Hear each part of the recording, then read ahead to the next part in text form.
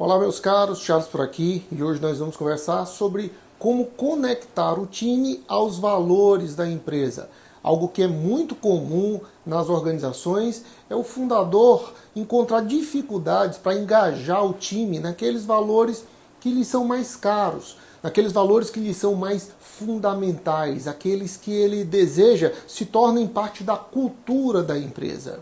A questão é que muitas dessas equipes internas nas, nas empresas vieram de formações técnicas diferentes, culturas diferentes, formações humanas diferentes, vieram de uma cultura familiar diferente, às vezes de outros estados, às vezes de uma sociedade ali local que tem outros costumes, e tudo isso acaba gerando uma diversidade, que, claro, por um lado é positiva, afinal de contas, a força do grupo está na soma das diferenças, mas tudo isso precisa estar balizado. É preciso que haja ali um núcleo sólido de valores comuns. Cada um agrega com aquilo que tem a mais com aquilo que pode ser usado como fator de soma para o grupo, aquele aspecto do seu conhecimento, da sua vivência, da sua experiência que contribui para o crescimento do grupo. A unanimidade ela não gera frutos, o atrito ele gera energia,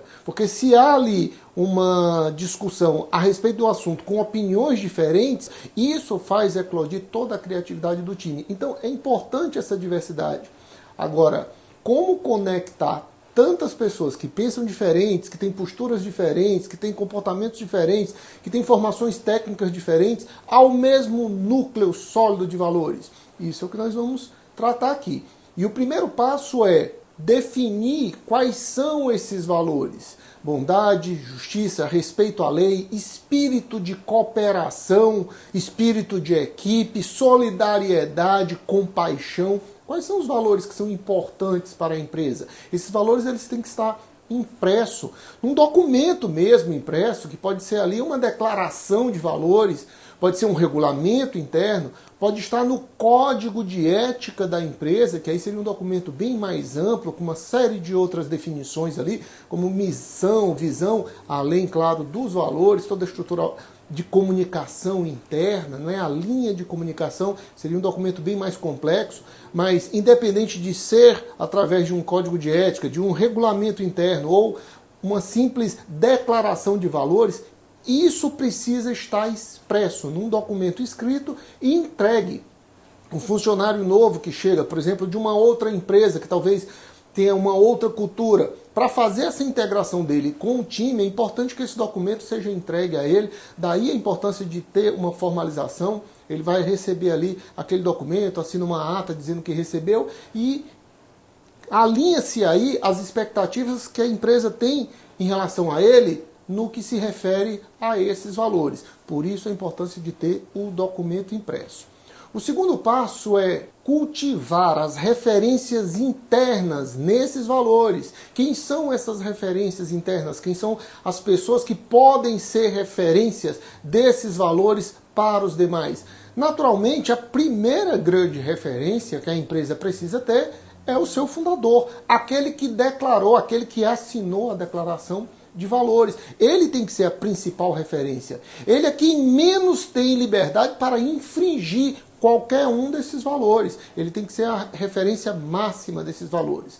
Acontece que ele pode contar também, a empresa pode contar também com outras pessoas mais experientes, mais vividas, ou que já estão há mais tempo em contato com esses valores e elas podem ser referências para os demais, para os recém-chegados, para aqueles que são mais jovens quem são essas pessoas? É importante identificar quem são essas pessoas e cultivar, chamar para um diálogo, conversar, explicar para elas: olha, você tem que ser a referência de valores para esse time. Você vai liderar aqui localmente, naquela tua área, você vai liderar aquele grupo ali, você vai ser a referência deles no comportamento, na postura, em tudo aquilo que a gente definiu aqui como sendo valores fundamentais da empresa. Então, é importante cultivar premiar, reconhecer, incentivar, encorajar essas lideranças nos valores da empresa para que elas sejam referências para os demais. O terceiro passo é ter internamente uma comunicação massiva. toda a comunicação da empresa, inclusive a identidade mesmo visual dentro da empresa, o ambiente limpo, o ambiente bem cuidado, decorado, talvez ali um jarro de flores, talvez plantas, né, podem dar aquela ideia de que se valoriza a vida na empresa, um quadro que remete ali aos bons valores, a esses valores, a própria declaração pode estar ali num quadro ou em várias posições dentro da empresa, em, vários cômodos da empresa, né, em várias áreas ali, você ter aquela declaração de valores e em todas as reuniões, em todas as ocasiões, jamais desperdiçar uma oportunidade de massificar esses valores, de mencioná-los, de mostrar como que as atitudes dentro desses valores são premiadas dentro da empresa, são celebradas dentro da empresa.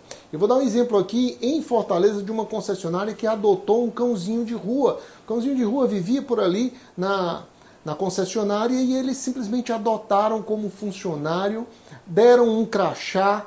Aquilo transmite para a sociedade, transmite para os clientes, transmite para os funcionários, para os colaboradores, uma ideia de valores humanos, de generosidade, de fraternidade, de bons sentimentos, de bondade. Esse é um gesto muito, muito bonito. O cachorrinho lá, bem cuidado, com ração e água à vontade com um crachazinho, recebe os clientes, adoram. Quer dizer, transmite uma mensagem, comunica os valores do fundador através desse pequeno gesto.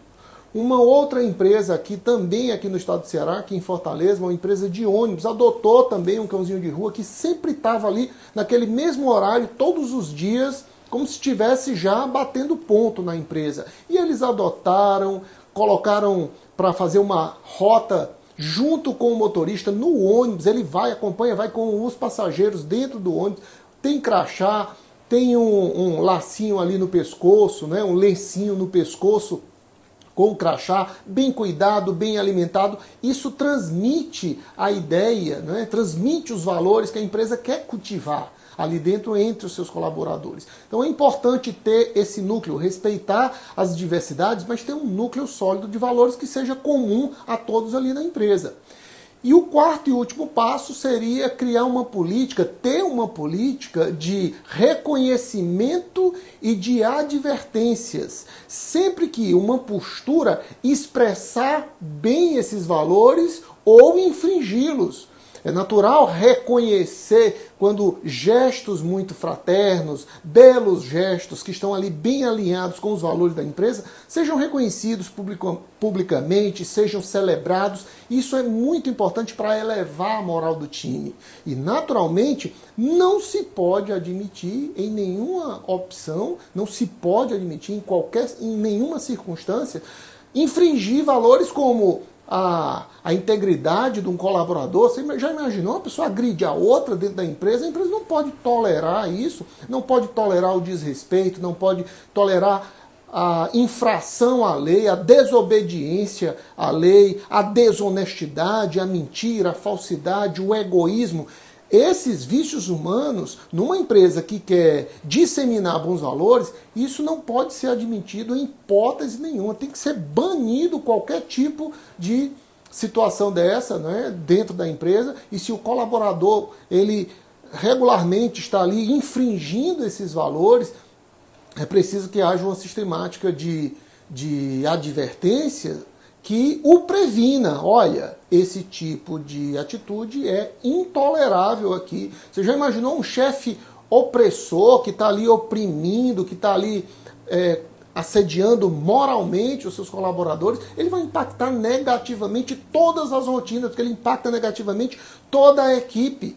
E isso não pode ser aceitado. Não significa que é, privilégios concedidos a um cargo sejam extensivos aos valores, de maneira nenhuma. Não é porque é chefe ou porque é um diretor que pode infringir os valores. Pelo contrário, esses devem ser as maiores referências de valores dentro da empresa, desses valores que o fundador deseja estabelecer. Então, espero que tenha sido útil, espero que você tenha gostado. Grande abraço e até a próxima.